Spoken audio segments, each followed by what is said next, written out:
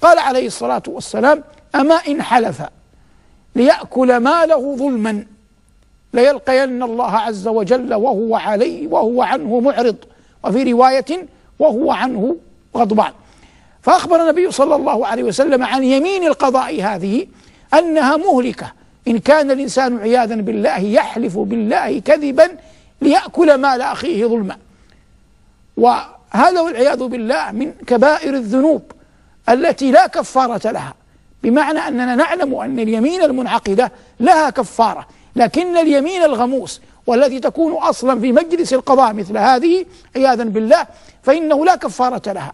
بل هي من كبائر كبائر الذنوب حقا لأنه يقتطع بها مال مال امرئ مسلم بغير وجه حق.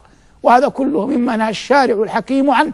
فقال صلى الله عليه وسلم لئن حلف ليأكل ليأكل مال أخيه ظلما ليلقين الله عز وجل وهو عنه معرض.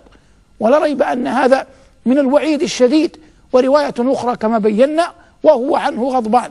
والله عز وجل يقول في سورة طه كلوا من طيبات ما رزقناكم ولا تطغوا فيه فيحل عليكم غضبي ومن يحلل عليه غضبي فقد هوى. أي هلك وشقي وانتهى به الأمر عياذا بالله إلى قعر جهنم. كذا قال أهل التفسير عبر طرائق ومعان متقاربة في اللفظ والمعنى. والمراد أن هناك وعيدا شديدا لمن هذا صنيعه لمن يقسم بالله عز وجل ليقتطع مال امرئ مسلم بغير وجه بغير وجه حق.